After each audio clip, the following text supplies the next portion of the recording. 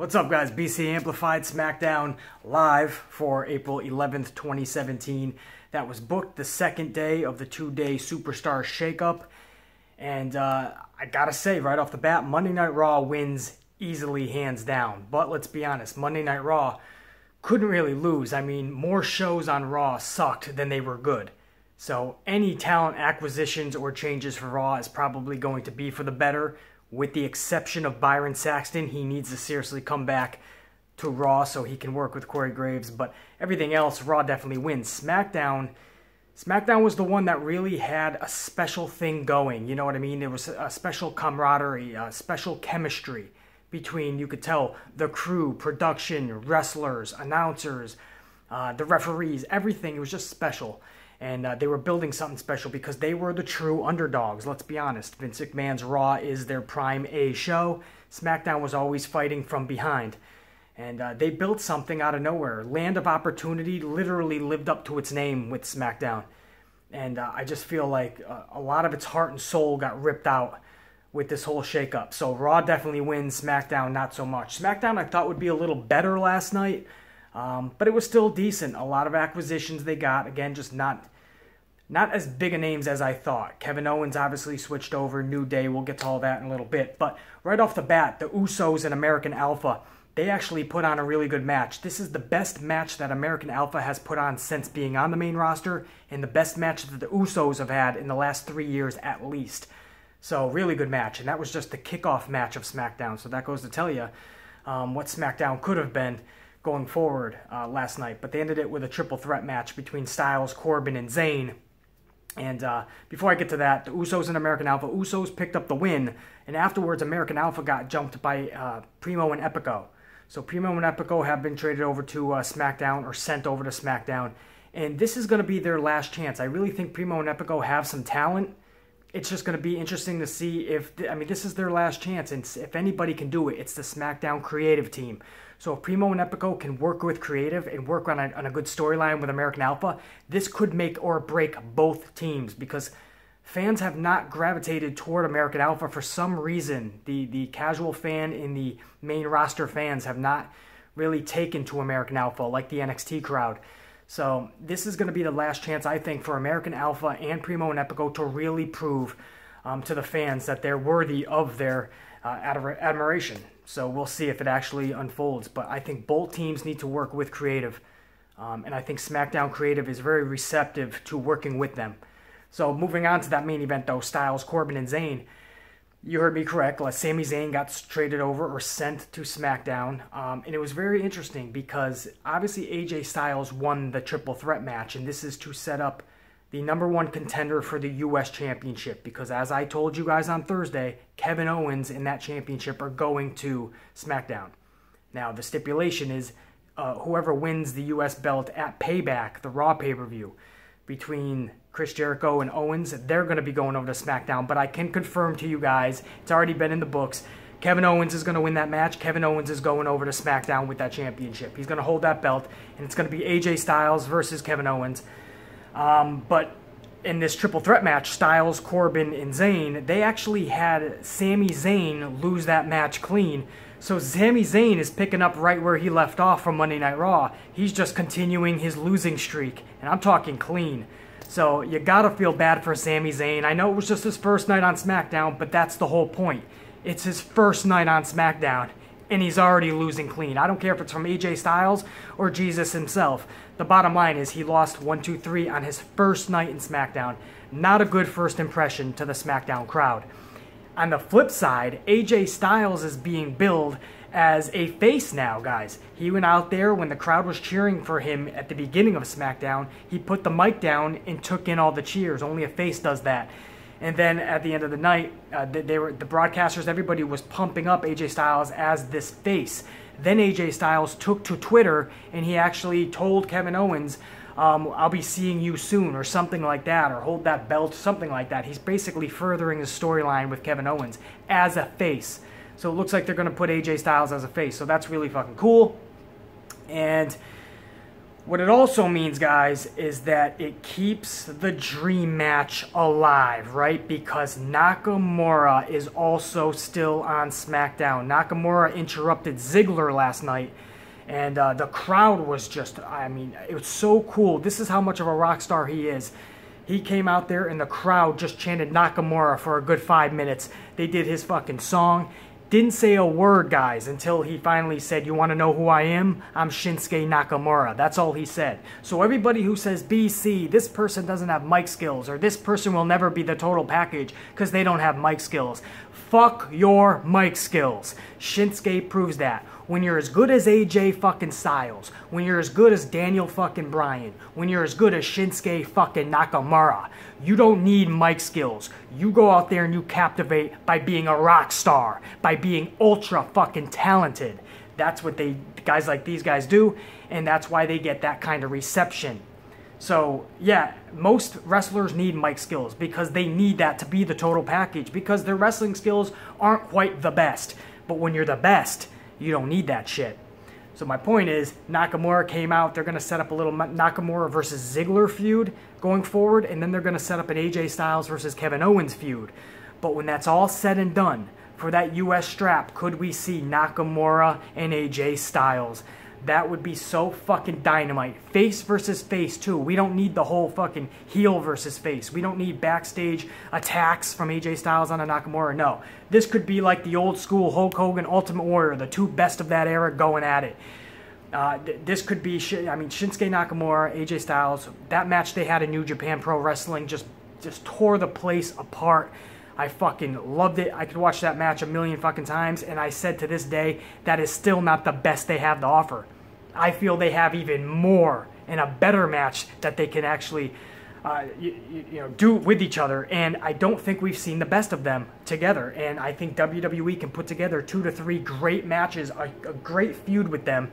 This is a dream match for me, definitely, because seeing what they did in New Japan Pro Wrestling and knowing what they could do in WWE, uh, just excited as fuck. And knowing that AJ Styles and Shinsuke are both staying on SmackDown, the dream match is still a possibility. I, we, we will not rule it out. And if we're vocal enough, Vince will have no choice but to put that match in play. And I don't care if it's for the U.S. Championship. It looks like they have something bigger planned for Randy Orton. I don't know how much bigger you can get than AJ Styles and Shinsuke Nakamura, but fuck it. Beggars can't be choosers. Put the U.S. strap up for grabs, and we'll do Nakamura versus AJ Styles, because I'm pumped for that.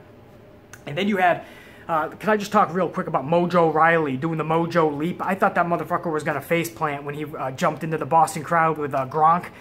He actually cleared the barricade, landed in the Gronk and his boys. So good job for Mojo, man. Nice, ups. They're actually giving Mojo Rawley a little bit of a push here. He actually looked like a legit star last night. We'll see if he can actually keep that going.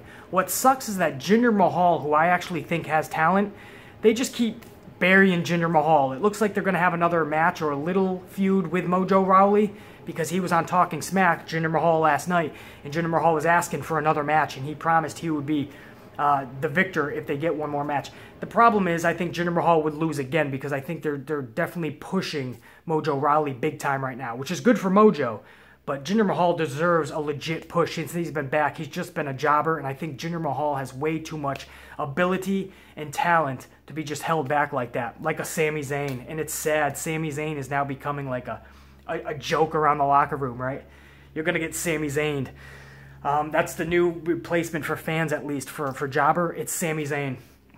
Shane McMahon brings out all the females and says we got a new acquisition, says it's a two-time um, second generation female. Um, she's a she's a fucking her father's a Hall of Famer. All this jazz. We think it's gonna be Charlotte. He brings out Tamina Snuka. So it was good seeing Tamina. I think Tamina will be the Nia Jax of SmackDown.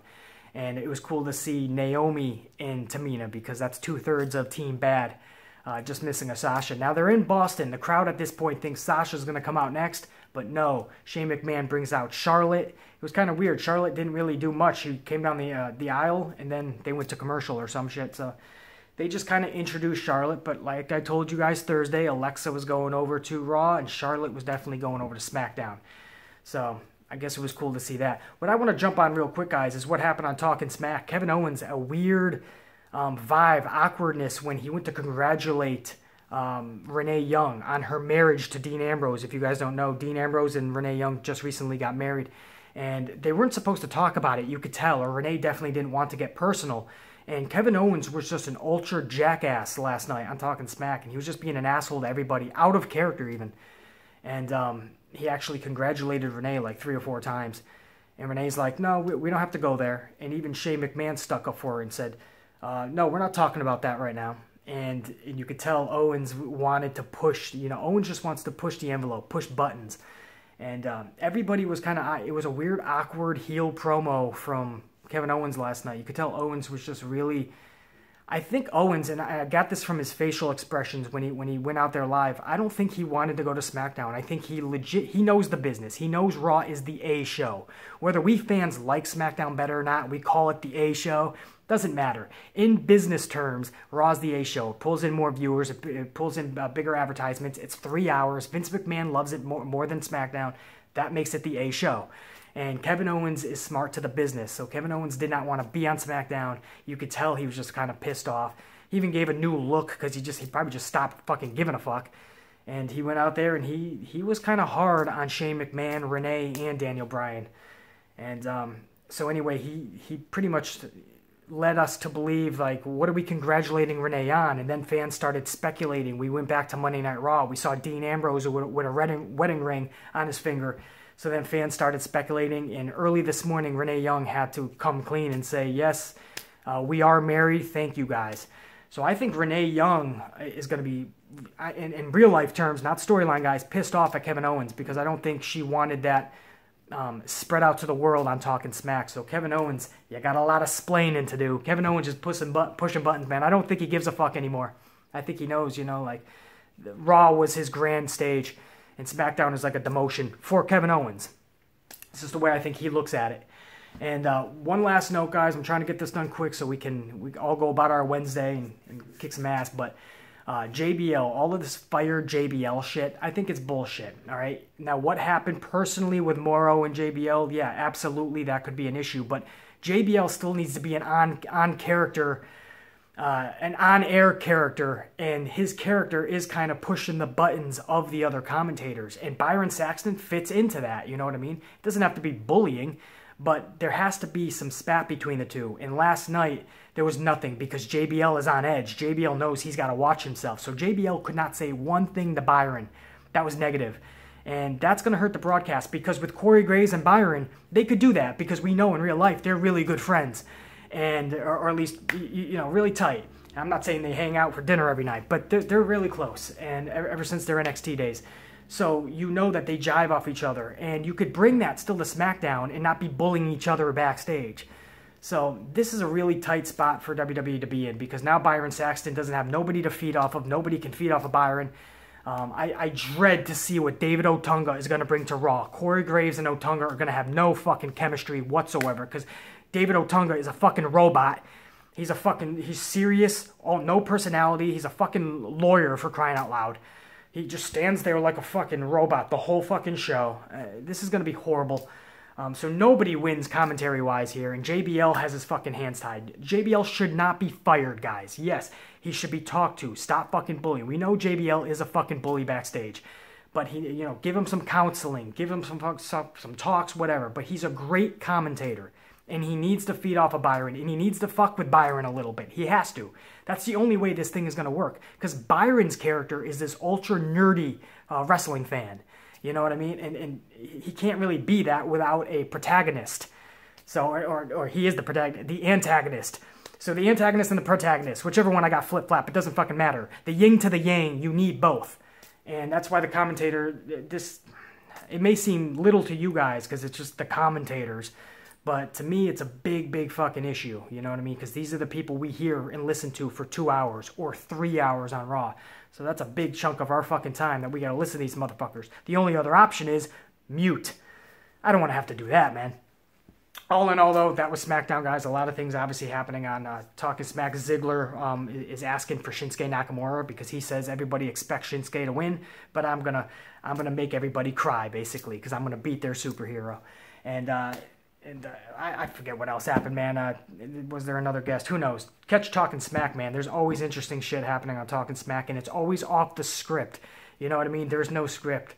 Um, it's just like they just say whatever's on their mind, and that's what I love about it. Sucks not having the Miz on there anymore. Miz used to be awesome with Daniel Bryan. I'm gonna miss that that chemistry that they had, that feud. And they both recently came out in interviews and said, by the way, that was fully organic. None of that was scripted. And when Daniel Bryan walked off stage that day, when uh, when Miz went off on him, that was actually real life. Miz said he was actually shocked that Daniel Bryan walked off because he was that pissed off. So I'm gonna miss that, obviously. Um, I'm gonna shut up, guys. SmackDown was decent. I expected more, but we'll see. I think the exciting period is over. New Day, as I said, is also over on um, SmackDown now. I think New Day is to take on Usos and take their titles eventually. Um, but I think the, the honeymoon stage is over, and I think here's Owens. He's about to fucking just give an awkward spiel. Um, but I think the honeymoon stage is over. Now we're going to kind of settle in, and now it's going to be okay, this is what you got for both shows. What are you going to do with all this talent? And we're going to see if SmackDown can can do it again because Raw definitely won out on this whole shakeup. BC Amplify, we're going to kick Wednesday's ass. For now, we're going to check you later.